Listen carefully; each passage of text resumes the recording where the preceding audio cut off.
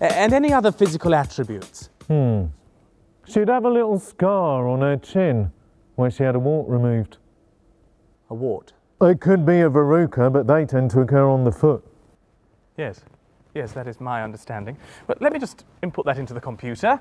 Now, you must understand, Colin, that this uh, criteria is relatively specific, so I won't be surprised if it doesn't glean any res... Oh, we have found someone for you. Uh, she's perfect. Uh, she has a scar, though it is over her left eyebrow. Her left eyebrow? Mm. Hmm. Well, relationships are about compromise. Right. Well, we recommend that the first meeting is during the day, a lunch appointment perhaps. After that, it's entirely up to the two clients. Uh, we do advise that you wear something distinctive, you know, easily recognizable. I could take my broom. Well, I think that might be rather cumbersome on a date, don't you?